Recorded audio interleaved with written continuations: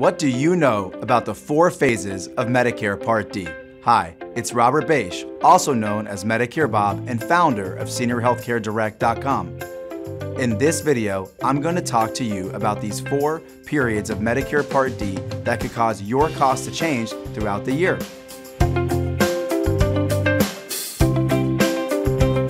Medicare Part D drug coverage helps pay for the prescription drugs you need.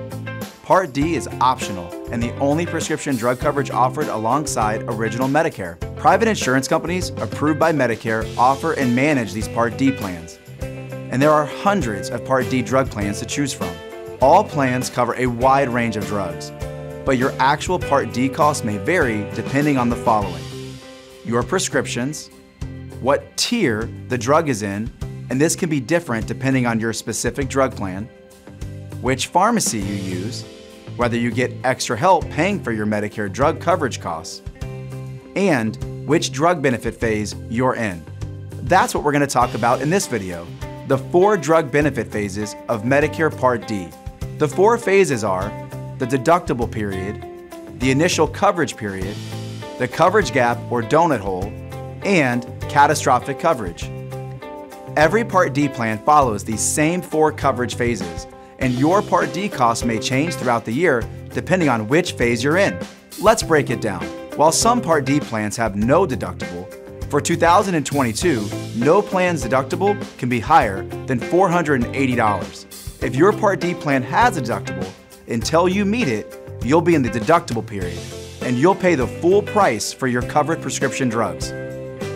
Once you've met your plan's deductible, you'll enter the initial coverage period.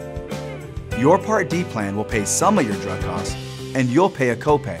This period varies from plan to plan, but for most plans in 2022, the initial coverage period ends after you and your plan combined have paid $4,430 in total drug costs.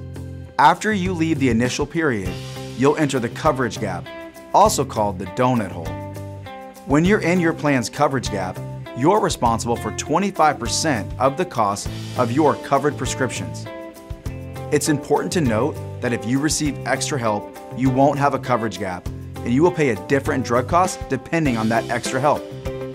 Finally, if at any point in the year you've reached $7,050 in out of pocket costs for your drugs covered by your Part D plan, you'll enter catastrophic coverage.